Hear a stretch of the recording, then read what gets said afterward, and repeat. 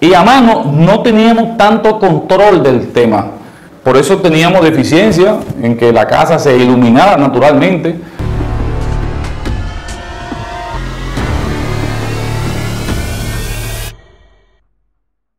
Muy bien, muchas veces vamos al terreno y una de las cosas que son fundamentales es orientar todos los espacios al sol.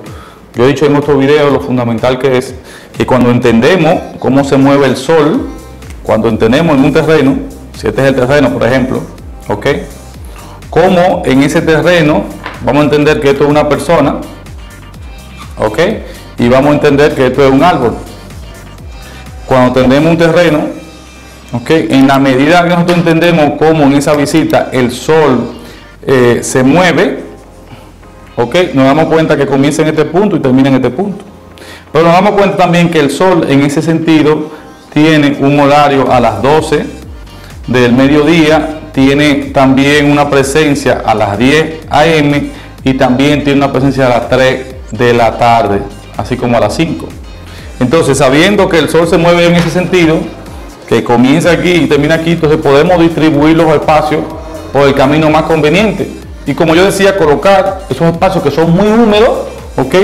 Que le den directamente al sol, como la cocina, como los baños, como parte de los cosas, de manera que este sol elimine la humedad que se da en estos espacios y también nos sirvan de escudo para los ambientes que necesitamos que sean más fríos, ¿ok?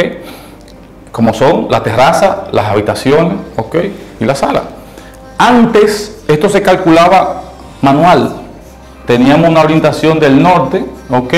Y según la posición donde estuviéramos en el hemisferio, podemos estar, por ejemplo, en el Caribe, Santo Domingo, en Panamá, en Perú, en Argentina o en Canadá, dependiendo del sitio, pues entonces cambiaban las coordenadas, cambiaban las orientaciones, cambiaban también las brisas, ¿ok? Y a partir de ahí, cuando hacíamos esta evaluación, pues podíamos saber en qué etapa del año, ¿ok? El sol se mueve en esta dirección y cómo cambia en otoño, en invierno, en primavera, en las diferentes estaciones. Sabiendo eso, pues podemos entonces distribuir este terreno, ese ancho que tiene, ¿ok?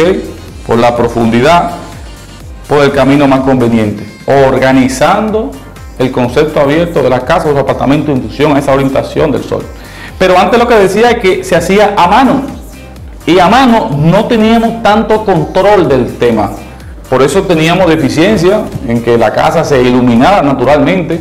Poníamos de deficiencia en que si aquí había un árbol, este árbol interrumpiera el sol que le fuera a una piscina.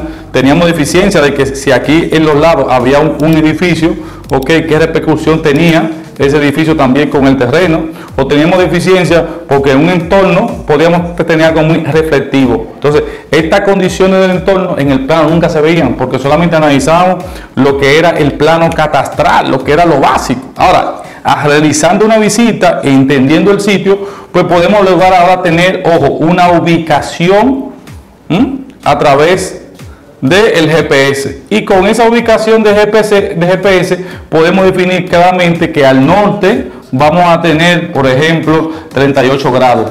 ¿Ok? Y que la brisa en ese lugar pues vienen en esta dirección en la mañana o vienen en esta dirección en la noche. Y con estos datos, pues si la brisa viene en esta dirección, vamos a abrir toda la casa en función a la brisa y vamos a colocar la distribución de estos espacios en función a que a las 3 de la tarde, cuando nos vayamos a beber un café, pues tengamos sombra en la terraza y no como pasaba antes, que no tomaban esto en cuenta y cuando hacían el proyecto, pues el sol entraba de repente.